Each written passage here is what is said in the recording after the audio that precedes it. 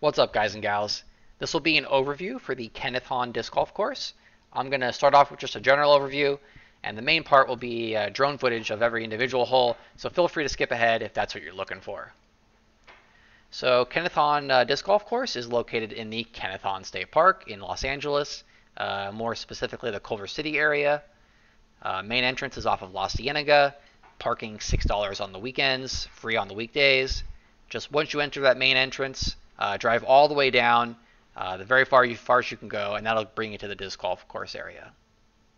Uh, decent amount of parking, but it does fill up. So if it does fill up, you're allowed to just park on along that access road. So just line up there and you should be good. The walking path all along the perimeter is the only out of bounds, and it doesn't even come into play very often. There's also no mandatories, so that makes it kind of beginner friendly, but you do need to be able to throw really far for this course. I'd say be able to throw 300 feet accurately, and then even 350, 400 feet max if you want to birdie and par everything. So pretty long course. So bring whatever uh, you know your max distance drivers are because you're going to need them. Also know obviously it's a nine-hole course. So if you want to do a full 18, you can do the nine twice. Uh, there's also a really cool back nine remix on UDisc right now. Uh, I like it quite a bit, so you can check that out if you want to mix it up a bit. This review is going to focus just on this main nine though. Here's the main sign you're going to see when you park. It'll be right next to hole one, so it'll get you started.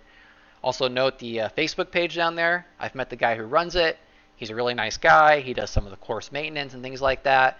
He's also been organizing some doubles events on Sundays, so hopefully we keep that active and have some fun things going. So feel free to check that out. Tee uh, pads are this interestingly um, like rubber material. Uh, I like it quite a bit. It lets you get some good rotation um, without worrying about slipping. So I wish they were longer, but overall I like them. Tee signs, nothing too crazy, pretty standard there. They do have sponsors, and that's because the city didn't put in this uh, in the baskets. It's uh, done through sponsors and donations, uh, so that's pretty cool. It is a newer course, I think in I don't know late 2019, early 2020 when the baskets were put in, so these are pretty new. Um, nothing too fancy there. But they do have these cool arrows that point you to the next uh, tee-pad, which is really useful sometimes if you're newer because some of the tee-pads are a little hard to find. So with that, I will jump right into the hole-by-hole guide, and I hope to see you at the Hahn. Hole 1, par 3, coming in at 327 feet. Uh, it's difficult to see, but the basket is nestled between that big uh, bunch of trees out there in the distance. Right off the tee box, you got two other trees that block your field of view a little bit. It's it's pretty wide there, so it shouldn't cause you too much trouble. What will cause you trouble though is that this this giant slope you're playing on. That way, if you're a backhand player and you throw a little bit too overstable of a disc, uh, you'll end up way down the hill. If you throw an understable disc, you could end up on the top side of the hill, which I think is actually even worse place to be because then you're gonna have to throw down the hill next shot and you're still going to have a lot of those trees over there on the right side. You got to go under all those. It gets pretty tricky. Uh, beware though, if it's windy out and you even choose a slightly understable disc, it could push your disc way up to the right, uh, very far, and there's a walking path up there which is OB. So if you got a forehand, great play to use on this one. You just chuck it out there to the left, let it sail back in. Usually will set you up for a pretty easy three. Uh, if you have a really good forehand, or maybe you flex a backhand really nicely, you can try to push that disc under the tree line as far as possible for a putt at birdie. Just be aware you have to push it pretty far into that, that tree line to actually get within circle one. Hole two, par three. Note that the tee sign says it's 277 feet. That's definitely not correct, and I'm pretty sure it's a typo, and it should be 377 feet. Anyways, you're on top of a hill throwing way down. So normal rules apply here. Uh, keep your trajectory flat and ideally even down, uh, which can be a little tricky on this one because you're not right at the crest of the hill. The tee pad's about 20 feet back. But if you throw something, you know, flat or down that you know goes straight, you know, maybe just a little bit of turn or a little bit of flex that, you know, ends left though for you successfully, you'll should be have a nice birdie look. If you make a mistake, uh, don't throw fast enough or something, or it, it fades out early. You're going to end up way, way left, and you're on top of a hill, so that mistake gets exaggerated. Same thing on the other side, too flippy, or anhyzer or something, you're going to end up way right. and that that's especially exaggerated during the windy time. But if you do make a mistake like that, uh, it's usually not the end of the world in this hole. There's some trees down below, but they're not too dense, so you're normally going to have some kind of a look to save your par. Hole 3, par 3, 285 feet, wide open box, so you got really no danger there. But the basket is completely surrounded by very bushy trees. So, with the biggest openings on the left there. So, a really nice play is a forehand. If you can swing it out wide and have it crash in the opening, you're going to have about a 15, 20 foot, uh, slightly uphill putt for the birdie. Now, that's not the only way to get a birdie on this hole. The uh, the trees are pretty bushy and thick there, as you can see, but you can slide it under. There's you know one or two feet of clearance, so a straight shot or even a, uh, maybe a little bit of hyzer shot up the hill and then swinging back in as long as it comes in low, you're going to get under that tree line. And then if you get under the tree line even a little bit, you're going to have a look at birdie. Uh, so even if you don't execute perfectly, you know, pars are pretty easy to pick up too on this hole. Uh, as long as you're out there a little bit, even if you're left or short, you just got to be able to slide it under the tree, and you're probably going to be fine. Trouble comes if you're on the top side you know, if you turn something over and end up up there, there's a few spots that you don't really have a very good angle to get under the tree. Um, and there's usually a bunch of dead leaves around the basket, so the ground play can be a little fast. Uh, and it's on a slope, so missed putts and things like that are how you would end up with bogeys on this hole. After a short walk uphill, you'll find yourself at the tee box for hole number four. Uh, really beautiful, nice view up there. I think you're at the highest point in the uh, disc golf area, but a very, very difficult hole. Um, the pin is over 400 feet away from you. You're way up in the air, and the green is pretty much completely surrounded by trees. There is a opening um, right in the front, so if you have a nice laser line shot, you can get there. I've seen shots that just aim straight at the pin, and there's a little bit of turn on the disc, and once it gets past the gap, that's when it starts fading. That'll leave you in a pretty good spot. I've also seen shots that go way out to the right, and then when they fade in, they're trying to get under the tree. I think if you had an absolute cannon for an arm, you could probably go above all the trees and then just bomb in that way. Uh, that would be you. You would need a giant arm for that, though. If you are not the don't throw your best shot, you end up on the left or right uh, you're you're going to be in a tough spot. You're either going to have to go over the trees, which are very tall, um, but doable, or you're going to have to have another shot that goes under trees. That you know, depending upon where you are, you could have between two and five feet of clearance. So not impossible, especially if you're got far enough out there, but makes your makes your life hard. Now, if you do make it on the green, it's almost entirely open. There is one tree next to the pin so if your approach somehow gets you behind that, you may you may not have a look at the putt, and that's another way to get bogeys. Uh, in general, though, if you get a par on this, uh, you're pretty happy. Uh, birdies, I find, are very very seldom on this hole. Welcome to hole five. Uh, the good news is you are done throwing downhill. The bad news is you now have to throw uphill a bit. That makes this 338 foot hole play a bit longer than that. So you also got a tree right down the middle of the line you normally want to throw in. So you're going to have to somehow get around that as well. And, you know, just to make it even harder, there's that random brown pole that really shouldn't be in your line. You really should never hit. But it just being there and just in your line of sight, it's, it's just going to mess with your mind. Anyways, uh, if you get it around the tree, you get it up the hill, and you finish left, uh, you'll be rewarded with a nice uh, uphill birdie putt. Could be pretty far, though, still, like I said, it's pretty far hole if you're like, oh, I need all the distance, so I'm going to pick a little more unstable disc to help me out, and you turn it over and end up on the right, well, now you have to go around those trees for your approach. Uh, it's doable if you're approaching as well, but it makes it a bit harder for sure. Uh, so really, if you're a beginner and if you can just get it in the middle of the fairway and past that first tree, you're you're probably in pretty good shape. Now, right by the pin, right behind it, is another big tree. Uh, so if your approach goes long and you slide under that, you may block yourself off.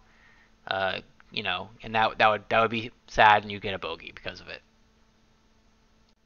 Hole six, par three, Another really long one, coming in at over 400 feet. I think it's 405 feet. Uh, flat land at least, pretty wide open fairway.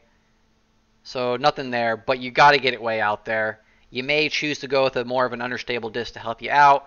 I think that's a great idea. Just do not turn it over because this is the only other hole where the OB comes into play, and you can see the walking path there on the right.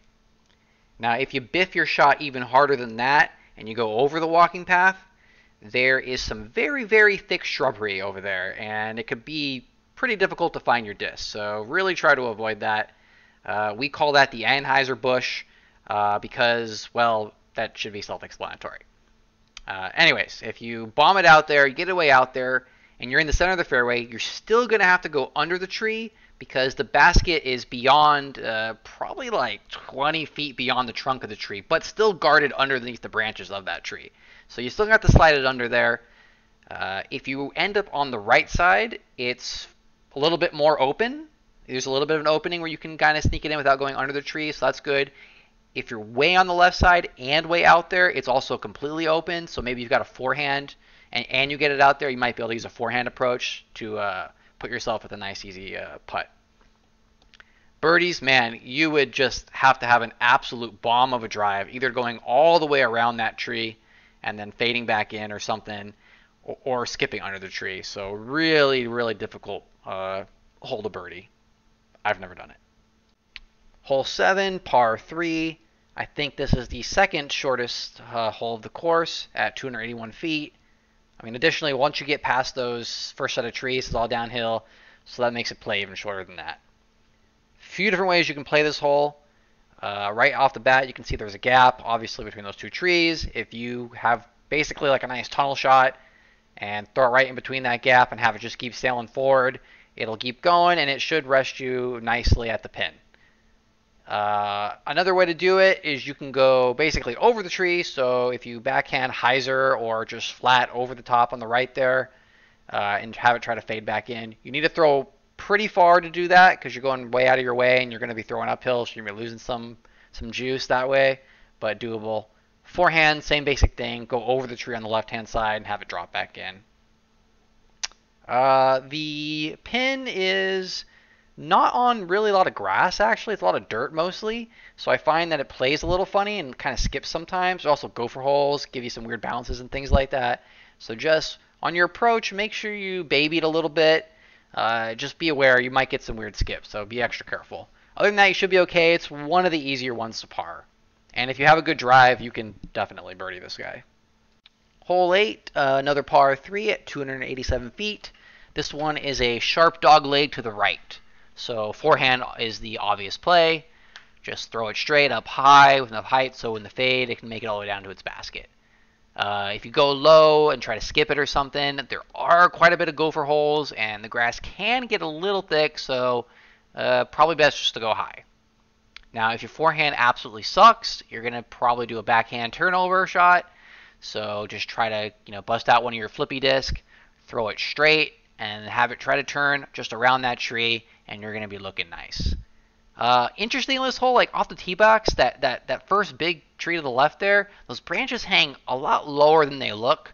And so, you know, when I'm throwing backhand, I really have to concentrate on not throwing it that way. I don't know, like, like when I do a turnover, I want to go wide, it feels like, and those hang pretty low, so I hit those more often than I'd like.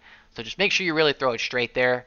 Um, and even if you don't really have a turnover, have a, have a, bad forehand, if you just throw it out straight beyond that tree, then you're going to have a wide open look at the pin. There is some other trees behind the pin that can either act as a backdrop for you to have it drop and give you an easy putt, or if you skid under them, it may give you a bit of an obstructed putt. But not the hardest hole. All right, we have made it to hole number nine, the very last hole of the course. This one is the only par four, but it is 500 feet uh, uphill, so bust out whatever dish you can throw the farthest and let her rip. Uh, if you have an arm, you are definitely 100% attacking this hole for birdie. So uh, if you see that green patch out there, it's a bright green patch of grass. It's always there. Don't know why it's there, but it is always there. I think there's a busted sprinkler, and so it's just a never-ending Garden of Eden growing. But it makes a great marker for disc golf. So get it past that green patch, uh, and you're going to be close enough to attack for birdie. Um, the right side is probably a little bit easier because you can see the big opening and it's a pretty standard uh, shot through there. Just throw it through there and it's going to fade towards the pin. Uh, if you're not on the right hand side, it's it's it's probably fine. You can go over the trees actually at that point. point, and there's usually I mean it, it can be a little tricky to get past the trees on the left, but there's usually a way to do it, especially if you have a forehand. Uh, then then then you're looking okay.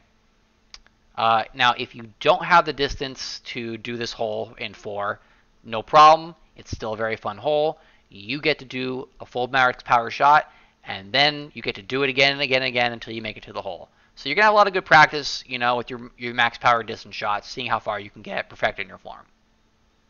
Once you get to the pin, uh, nothing too crazy. It's a little bit of a slope, so you could have a roll away. Uh, and also know it's actually the very first pin you're going to see when you come to the course. So sometimes you'll see people practice putting. If you are doing that yourself, no problem. Just be aware and back up so the people playing the hole can actually play through in peace. So that concludes the main nine review of the Kenneth Hahn Disc Golf Course. Once I play the back nine remix a bit more, get some drone footage of that, might do a review of that sometime in the future. You can see from my outtake footage here that the Kenneth Hahn Disc Golf area is actually quite a nice park and not something you'd necessarily expect to find in Los Angeles. You've got pretty good uh, elevation uh, around the bowl area, so you get some really nice views of the mountains and the you know the Los Angeles buildings out there. So come check it out, and I hope to see you at the Hahn.